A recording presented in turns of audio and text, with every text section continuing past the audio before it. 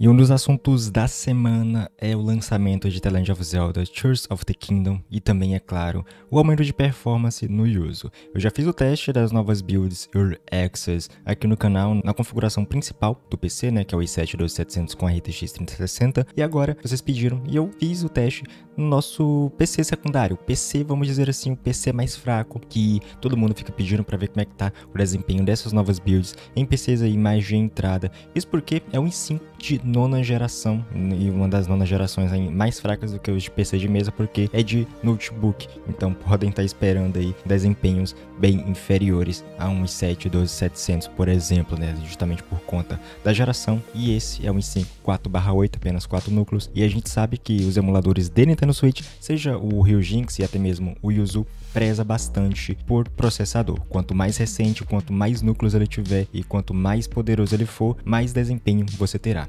Placa de vídeo praticamente não é utilizada nos emuladores da Nintendo Switch, então você poderia ter muito bem uma placa de vídeo da série 900 e um processador top de linha que você ainda assim conseguiria ter um bom desempenho. E pessoal, eu achei que o desempenho no Zeldinha Breath of the Wild seria um pouco melhor, mas ainda considero jogável, mesmo obtendo ali taxas de quadro, em sua maioria nos 30 FPS, em alguns casos mais extremos, caindo bastante em locais quando tem muitos eh, monstros, né? E também durante a compilação de shader. Como essas builds elas melhoraram muito o modo de precisão normal, todos os gameplays que vocês estão vendo de fundo é no modo GPU normal e também no modo portátil, ou seja, no modo handheld, que diminui um pouco a qualidade gráfica, mas deixou ele um pouco mais próximo ali dos 30 FPS. Infelizmente, pelo menos aqui no meu PC, com essa configuração, pode ser que você tenha a mesma configuração e pegou uma, uma quantidade de FPS maior, eu não consegui manter ali uma taxa de quadros em 30 FPS cravado e muito menos passar de 30.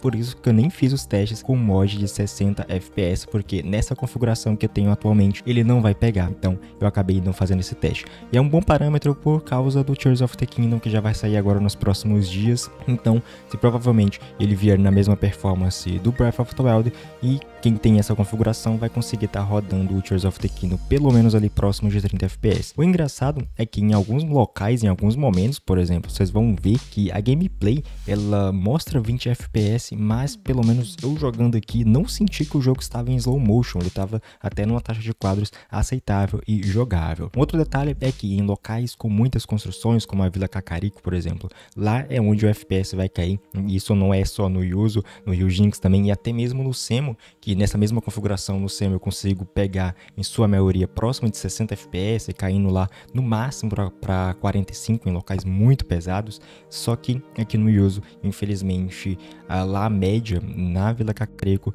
ela caiu, ficou próximo ali de 22 FPS. E como eu disse, esses 22 FPS ali de média, ele não representou muito bem a gameplay, porque eu achei ela bem fluida em comparação aí com outros jogos que rodam abaixo dos 30 FPS. O outro local que eu fiz os testes foi nos arredores do castelo de Hyrule, que lá também é um local que eu sempre gosto de ir quando hum, é, faço esse tipo de gameplay, porque é um localzinho bem pesado, principalmente aí para quem vai pegar o late, o late game, né, o end game ali do the Wild, que é praticamente as últimas missões que você tem que fazer lá. E quando você chega nesse local pela primeira vez, você já sente o baque, porque o FPS cai devido à quantidade de partículas na tela, de inimigos, né? Que eu sempre falo, tem muitos guardiões, e os guardiões ficam lançando laser para você todo canto, tem os inimigos voadores, e isso acaba pesando bastante no desempenho do jogo. E esse também foi um outro local que em alguns momentos eu não percebi slow motion, mesmo rodando ali na, nos 25, 23 FPS. Vocês vão ver alguns momentos, né? Picos na, no frame time, que é justamente o momento que o jogo para para compilar o shader.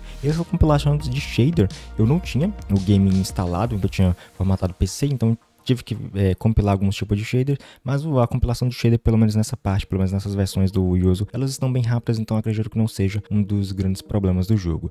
Eu achei, né, como eu disse no início, que eu iria ter um desempenho melhor, mas infelizmente o processador aqui já deu tudo que tinha que dar e ele não consegue rodar bem esse jogo, mas não considero injogável, muito pelo contrário, né? A maioria das vezes você vai estar tá é, jogando o game em locais abertos, você vai chegar nessa castelo do Hyrule só lá pro late game, então você já vai estar tá se acostumando a jogar o game lá em uma taxa de quadros boas e não é, não é injogável, né? muito pelo contrário, dá para você jogar ele tranquilamente. Obviamente ainda continua com a mesma opinião de sempre, não é legal você zerar esse jogo no Yuzu e muito menos no Rio Jinx. Continue no Semo porque lá é o melhor emulador para você rodar esse jogo, como eu disse, lá no Semo nessa configuração i5 9300H mais GTX 1650 eu consigo pegar próximo de 60 FPS e no Yuzu chorando para pegar 30 FPS de média na maioria dos locais. Mas em locais abertos dá para jogar tranquilamente e Agora, né, agora a gente aguardar a sequência ser lançada, o Tears of the Kingdom.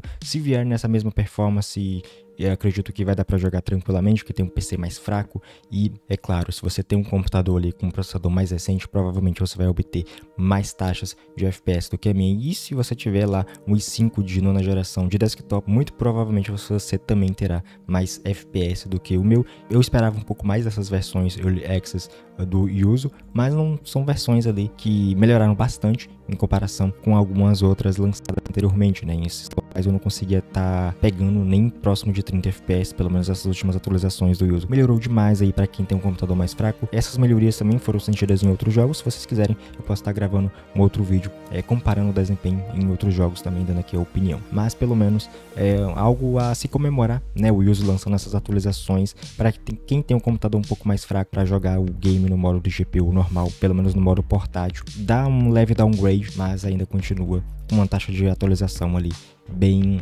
adequada, né? E assim que sair o Tears of the Kingdom, com certeza irei fazer o teste nessa configuração e também na nossa configuração principal. Então fiquem ligados nos próximos dias aí do lançamento do jogo para vocês ficarem por dentro de como que tá o jogo rodando, seja em PCs ali mais medianos, topo de linha e também nos PCs de entrada. Galera, se vocês estão com essa mesma configuração ou se vocês obtiveram uma taxa de FPS semelhante, comenta aí, deixe seu like se vocês gostaram desse tipo de conteúdo e nos vemos aí no próximo vídeo. Forte abraço, valeu, falou!